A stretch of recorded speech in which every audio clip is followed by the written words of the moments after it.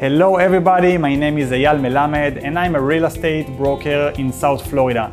I live in beautiful Hallandale Beach and my office is also local.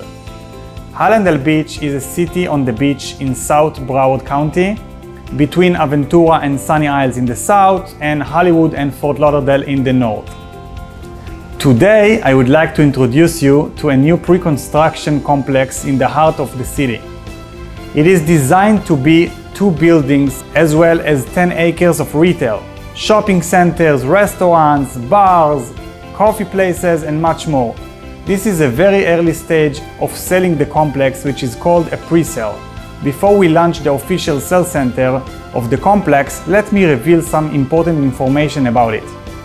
The first phase is the West Tower, scheduled to be completed by the end of 2024. Then the second building is completed two years after. Since this is an early stage of the pre-sale, the prices are now very low uh, for these luxury high-end units. Prices for large one-bedroom units, about 900 square feet, is only 550 to 670,000 dollars, and the large two-bedroom are 1,200 square feet, between 700 to 800,000 dollars, and the three-bedroom are 830,000 dollars, depending on the unit floor, views, direction, and so on.